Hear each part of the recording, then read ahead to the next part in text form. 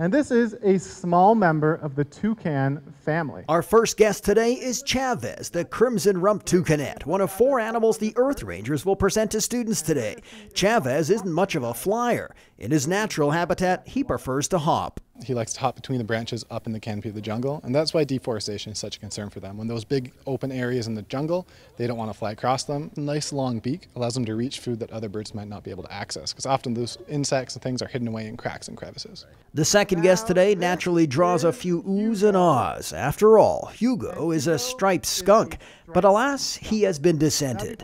The students love the fact that in the wild, Hugo's mates will give you three different warnings before they spray. And if they get scared, they can spray a musk that is so strong, as people, we can smell it for over a kilometer away. They can give you warnings before they spray you because that'd be terrifying, very terrifying.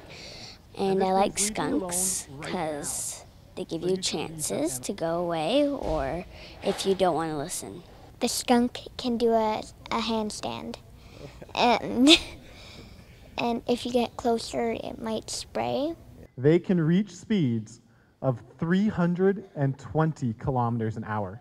The third animal is Kateri, a peregrine falcon. This species is a real success story after being decimated by the insecticide DDT. Human intervention with a ban and recovery program enabled the birds to avoid extinction. So she is a great example of how people working together can make a huge difference it's the best message we can give kids. I think as well, letting kids know that they can make a difference is, is huge. I mean, a lot of the times they think that they can't. Our final guest today is Leonard, an American kestrel. This bird of prey is the smallest and most common falcon in North America. He is very quick, so watch very carefully. So we're going to see if Leonard wants to demonstrate how he might catch a butterfly in the wild. Now, in the wild, they will either punch it out of the air and then come back down and land on it, or they will just grab it and take it right to the ground. I thought it was very interesting how they um, showed its personality.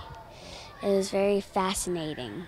I like how it swooped down and got the butterfly, and then it just swooped back up and then attacked it. Each school year, the Earth Rangers visit around 40 schools, reaching over 12,000 elementary students in schools across Canada. The Kids Conservation Organization's goal is to educate children about biodiversity and inspire them to adopt sustainable behaviors.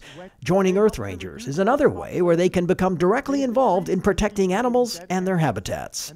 When you become an Earth Ranger, you can complete missions, which are fun activities and challenges that you and your friends and family can do at home or in your community, at your schools as well. There's no obligation to fundraise, but in order to become a level 6 Earth Ranger, you would complete a fundraising campaign uh, to help protect one of our animals that we've chosen for that year. Well, I learned to keep the environment clean so it helps keep the animals in, alive because if you like throw garbage and stuff in the ocean or lake then a fish could like swim into it and choke itself